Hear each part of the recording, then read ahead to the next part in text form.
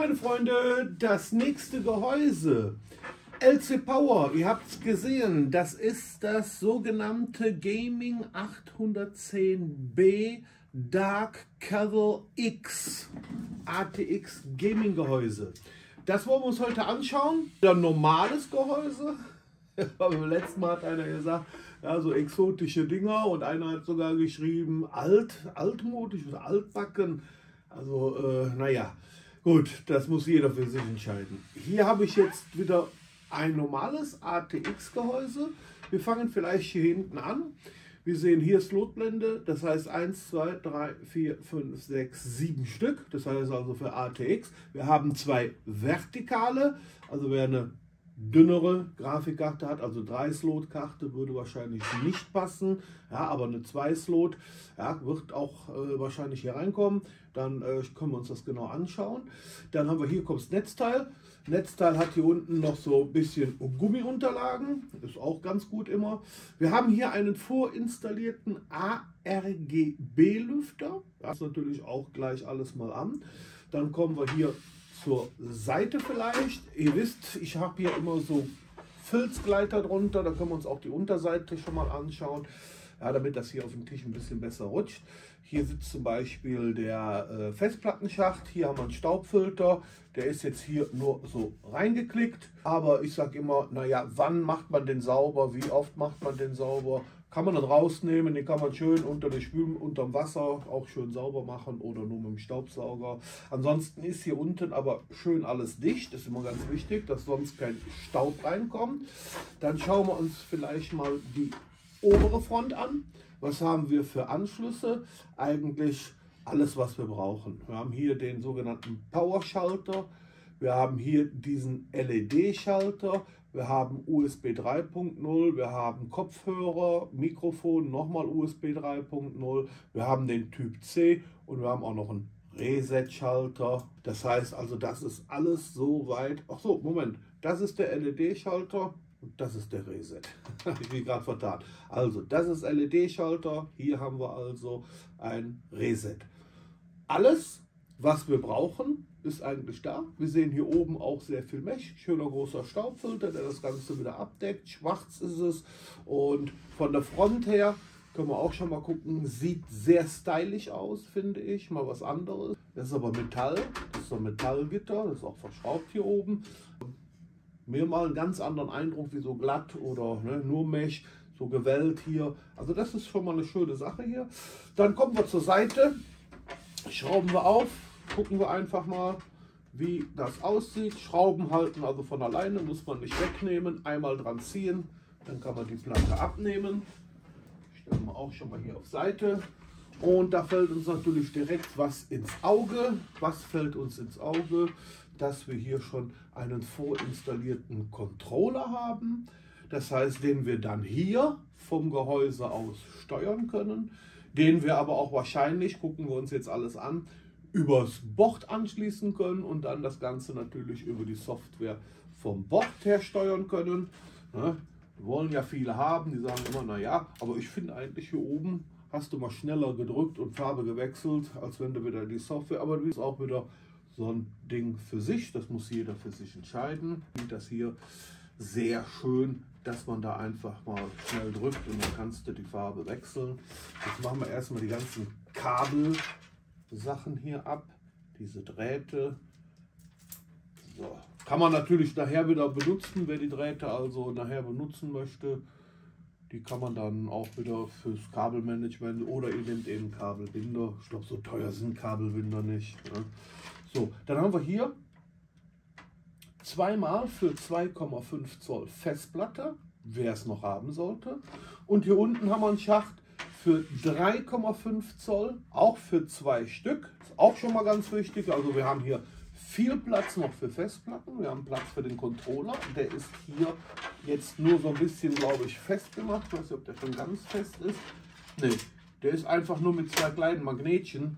Hält der also hier. Den kannst du also auch hier, könnt ihr euch den hier hinsetzen. Ihr könnt die Sachen abmachen, da hinsetzen. Ne? Also ist alles möglich. Dann haben wir hier unten noch einen Beutel. Ach, guck mal. Ja, von wegen. Guck mal. da haben wir sogar eine Fernbedienung dabei. Das heißt, wir können das Ganze auch mit der Fernbedienung bedienen. Das heißt, da muss ich noch nicht mal hier oben drücken. Das heißt, ich kann mir die Fernbedienung daneben legen und dann kann ich natürlich hier wunderbar dann die Sachen umschalten. Gucken wir gleich, wie es aussieht. Dann haben wir hier noch so zwei komische Plastikhalter. Dann haben wir die ganzen Schrauben, die wir brauchen. Ja, das ist hier in dem Beutel drin. Dann haben wir hier noch einen kleinen Beipackzettel. Hier steht wahrscheinlich noch mal dran, was alles reinpasst, wie alles passt. Ne, die ganzen Anschlüsse könnt ihr dann auch noch mal nachlesen. Ne, schaut also genau, was an Radiatoren angegeben ist. Schaut, was an I.O. Wasserkühlungen angegeben ist.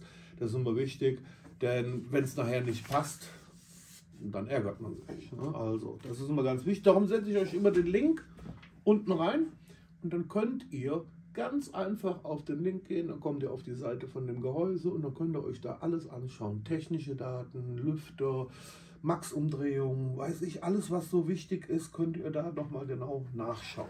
So, jetzt gucken wir mal. Der Kasten ist hier auch mit einer Rändelschraube hier unten, der Festplattenkäfig.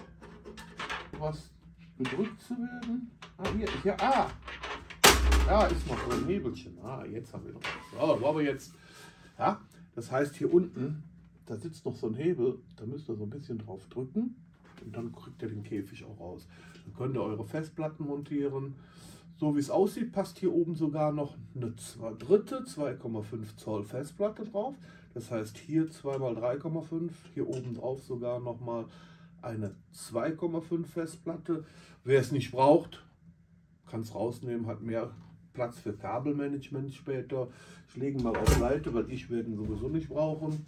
Dann haben wir hier natürlich, jetzt mache ich das mal hier. Ich habe ja hier so einen kleinen Schrauber. Ja, genau. Ups. Das ist eben das, was, was mich stört so ein bisschen. Ich habe den auch schon lange, diesen Schrauber, aber was mich stört, dann fallen euch die Schrauben jeweils immer runter. Ne? Und darum bin ich immer der Meinung, wenn man hier so einen leicht magnetischen Schraubendreher hat, heißt ja nicht Zieher, Schraubendreher, ja, bevor ich was Falsches sage, ne, da bleibt die Schraube hängen und da fällt die nicht immer runter. Ne? Also die Käfige hier, die sind wohl aus Plastik, ne? also nichts jetzt aus Metall, die sind aus Kunststoff, aber wie gesagt, das ist ja nun egal, wo die Festplatte eigentlich drin hängt. Dann haben wir den auch schon. Und jetzt haben wir natürlich hier auch Platz. Viel ist es nicht. Wir haben hier knappe drei, zweieinhalb bis drei Zentimeter Platz für Kabelmanagement. Dafür haben wir aber auch viele Haken, wo wir die Kabel dann schön verbinden können. Wir können dann auch hier unten, wenn wir die Kabel je nachdem verlegen, können wir das Teil auch hier unten reinschieben. Das ist also auch möglich. Da muss man nur die Kabel so ein bisschen mal sortieren. So, was haben wir noch an Frontanschlüsse, habe ich eigentlich schon gesagt. Wir haben den Typ C, wir haben das Frontpanel mit Power, Power LED, HDD LED, Reset. Wir haben den USB 3.0 Stecker und wir haben, wie kann das anders sein? da sind sie wieder, die bunten Kabel. Ein Audioanschluss. Ja, also das haben wir alles dabei. Dann wie gesagt der Controller. Hier ist hier eigentlich schon alles angeschlossen, denn wir haben insgesamt vier, vier ARGB-Lüfter schon verbaut und das hier ist jetzt der Controller. Hier stecken aber auch schon die Lüfter drin. Das sind 3-Pin-Lüfter. Die Anschlüsse sind aber auch für 4-Pin geeignet. Das heißt, wer also hier andere Lüfter nehmen möchte, kann natürlich hier auch einen 4-Pin-Lüfter anschließen. Also, ja, ihr seht, das sind immer 4-Pin. Ja, hier haben wir jetzt die dabei sind, die original verbaut sind, sind 3-Pin-Lüfter. Ne, stecken wir gleich einfach mal ein. Wir haben hier die Anschlüsse fürs Board. Einmal den PWM-Anschluss, ist wahrscheinlich über DC wird es laufen oder auch PWM. Aber hier haben wir noch einen SATA-Anschluss für Strom. Das Ganze wird mit, dann mit Strom versorgt. Platz haben wir auch schon soweit klar. Und das Schöne ist hier bei dem Gehäuse wieder, wie wir es schon öfters jetzt gehabt haben. Wir haben hier also eine sogenannte Türe. Hier ist noch Folie drauf, nicht wundern. Da kann man den Griff hier nach vorne und dann kannst du hier mit dem Finger und dann hast du hier den Innenplatz. Ja, Vorsicht, der kippt nämlich ein bisschen, wenn man die Türe hinten nicht drin hat. Dann können wir die Türe aber auch aushebeln. Das sehen wir natürlich auch wunderbar. Hier ist noch von innen und auch von außen Folie. Ansonsten ist das Ding glasklar.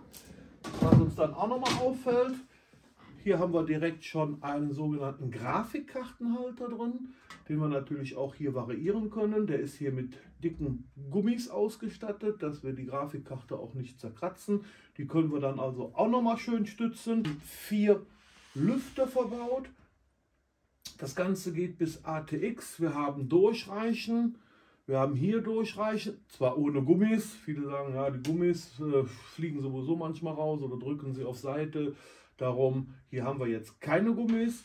Hier haben wir nochmal ein Fenster. Wer also ein schönes Netzteil hat, dann kann man auch hier von der Seite drauf gucken. Wem das jetzt stören sollte, habe ich auch schon gehabt, dann kann man je nachdem hier auf das Netzteil was kleben oder eben hier einfach was vorsetzen. Habe ich auch schon, passt auch je nachdem. Kann man noch einen schönen Schriftzug drauf machen. Ne?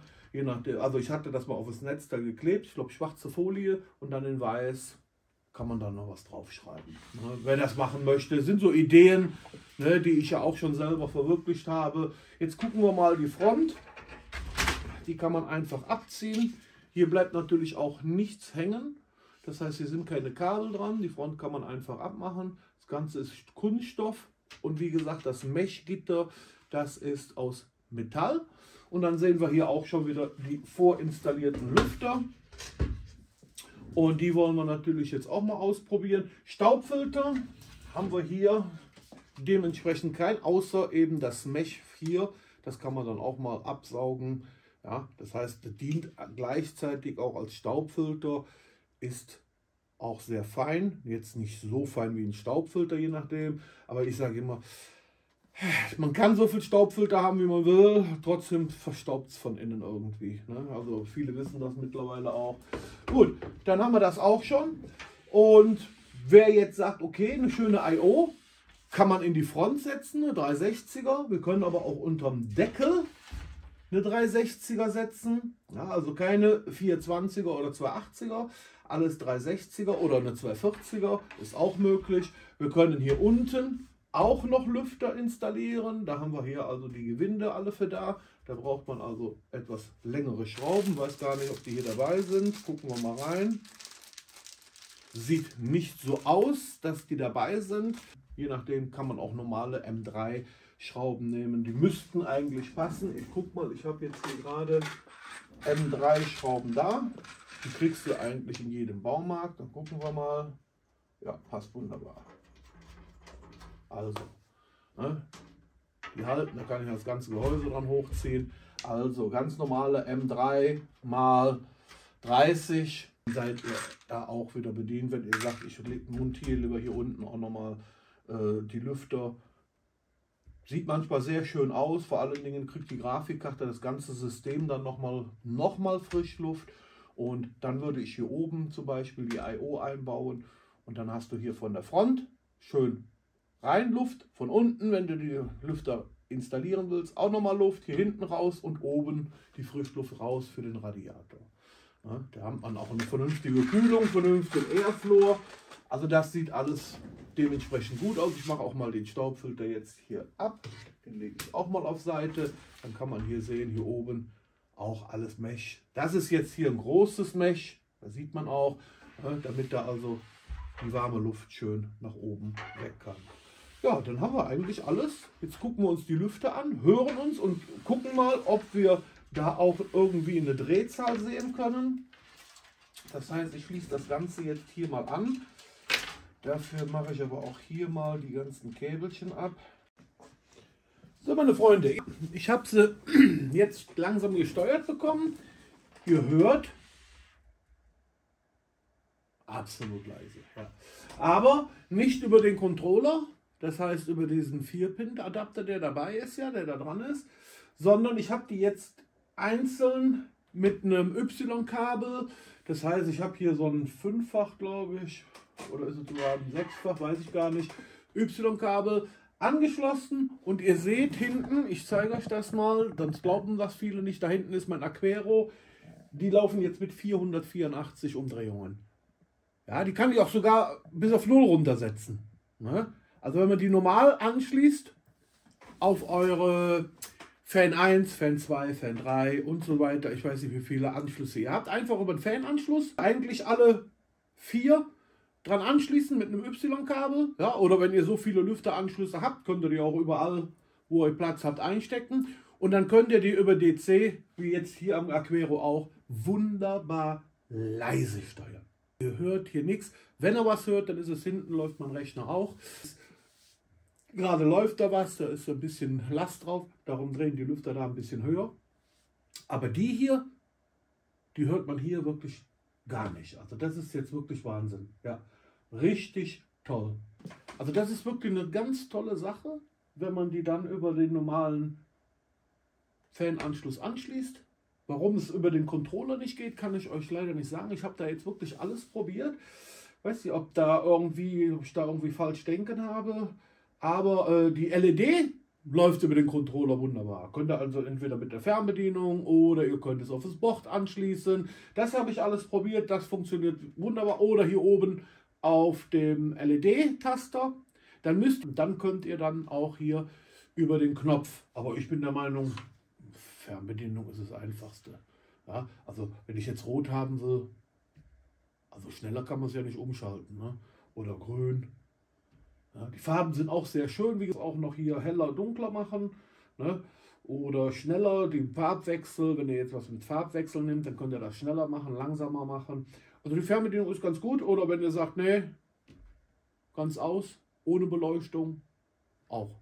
Alles möglich. Also ich finde die Fernbedienung ganz gut hier. Motto, ne? Und das ist eine schöne Sache mit dem Farbwechsel hier. Oder runter. Da gibt es viele Modis über die Fernbedienung. Da könnt ihr also wirklich durchswitchen, bis der Arzt kommt, sage ich mal. Und das funktioniert und wirklich super leise. Ich habe jetzt gedacht, die hätten so eine Mindestlaufdrehzahl von 900 oder 1000 Umdrehungen, weil die liefen die ganze Zeit mit fast 1300 Umdrehungen.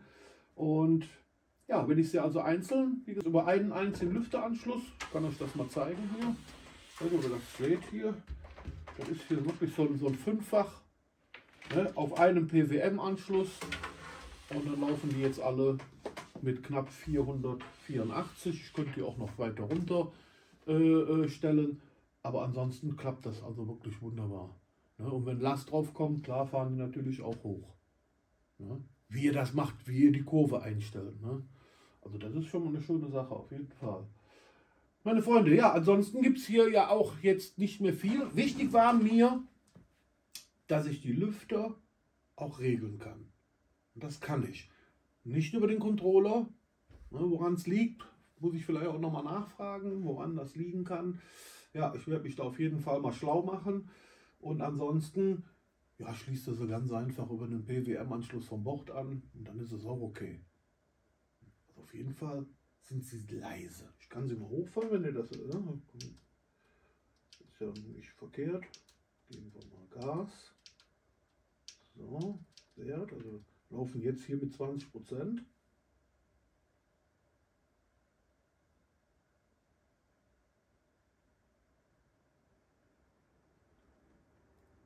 Jetzt Sie, das sind 100 Prozent.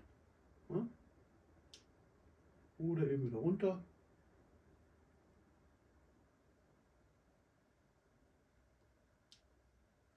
Jetzt mal mit 40 Prozent, auch mit 40 Prozent. Bisschen hört man sie noch. Aber wie gesagt, ihr auch. Ich kann den jetzt hier wirklich bis auf 0 setzen. Passt mal auf. So. so. Jetzt habe ich auf 0. Wie ihr seht, dann bleiben die auch stehen. Also das habe ich auch noch nicht. Also die haben gar keine Mindestlaufzeit, Laufdrehzahl. Also die haben gar keine Mindestdrehzahl. Viele haben ja wirklich so eine Mindestdrehzahl. Das haben wir hier gar nicht. Also ich finde das richtig angenehm. Kann man richtig schön einstellen und dann ist das gut. Ja, und die Farben, wie gesagt, sind auch sehr schön. Und ich habe ja jetzt die passende Wasserkühlung noch dazu. Habe ich ja das letzte vorgestellt, die neue von LC Power. Die wird dann auch hier zum Laufen kommen. Und dann sieht das Ganze natürlich wieder schön einheitlich aus, weil auf der Wasserkühlung sind dieselben Lüfter. Das ist natürlich sehr schön. Also, Meine Freunde, könnt ihr euch darauf freuen. Nächster Bastelkeller. Ja, da haben wir wieder was schön zum Zusammenbauen. Und dann gucken wir mal, was hier so reinpasst, wie das Ganze dann aussieht. Ansonsten bin ich vom Gehäuse wirklich sehr angetan, auch vom Aussehen, mit dem, mit dem Mesh und so weiter. Äh, viel Platz für Festplatten, Grafikkartenstütze ist schon dabei. Wir können oben 360er, wir können vorne 360er, wir können hier unten auch noch Lüfter. Habe ich jetzt gesagt, nee, Kalle, also ich mache mir hier unten noch so zwei Stück oder drei Lüfter rein. Ja, nur gucken, hier passt einer, das sind zwei, drei Stück gehen hier auch hier unten rein. Drei Stück. Hm, habt ihr natürlich, dann ist natürlich richtig Airflow angesagt. Ne? Warum nicht? Ne? Holt man sich noch drei Lüfter dazu, dann kann man dann hier unten gerade für die Grafikkarte nochmal so richtig schön, schönes Gehäuse. Kann immer nur zeigen, entscheiden müsst ihr selber. Ja, der eine sagt jetzt, nee, gefällt mir nicht. Muss man ja nicht. Ich kann es nur vorstellen. Ihr könnt entscheiden. Ich kann sagen, die Lüfter, ich kann es zeigen, super leise. Hat man selten bei preiswerteren Gehäuse, dass die Lüfter wirklich sich so schön regeln lassen. Ja, ich weiß das, ich habe ja nun wirklich auch schon einige gehabt. Ne? Der Kai hat sich jetzt auch ein paar gekauft, auch die haben eine Mindestlaufzahl von 900 und er sagt, ja, die hört man natürlich. Ne? Ja, er kriegt es aber nicht weiter runter geregelt. Also jetzt hier, das ist schön, die kann man ruhig drin lassen. Die muss man, die würde ich auch nicht wechseln. Also die würde ich so lassen, wenn einer noch eine I.O. sucht, passende I.O. dazu, bist du fertig. Ne? Machst du dein System hier rein und dann kannst du Freude haben. Ja. Meine Freunde, ich hoffe, euch hat es gefallen. Wenn ihr Fragen habt, bitte ab in die Kommentare. Ich beantworte euch alle Fragen. Und wenn ihr einen Daumen da lasst, freue ich mich. Wenn ihr ein Abo da lasst, dann verpasst ihr natürlich das nächste Video nicht oder die nächsten Videos. Das heißt, wir werden hier natürlich jetzt ein System einbauen. Äh, wir werden hier schön die Wasserkühlung verbauen. Wir werden die Grafikkarten hier Stütze nutzen und so weiter und so weiter. Dann gucken wir uns das Ganze an, wie das dann im Endeffekt nachher fertig aussieht. Vielleicht mache ich noch einen Strip mit rein, mal gucken. Oder ich mache hier unten noch Lüfter mit rein. Das entscheide ich jetzt immer so ein bisschen kurzfristig. Mal gucken, was ich noch so da habe. Und ansonsten, meine Freunde, was hat der Kalle ganz zum Schluss? Genau, macht es gut, bleibt vor allen Dingen gesund und tschüss zusammen.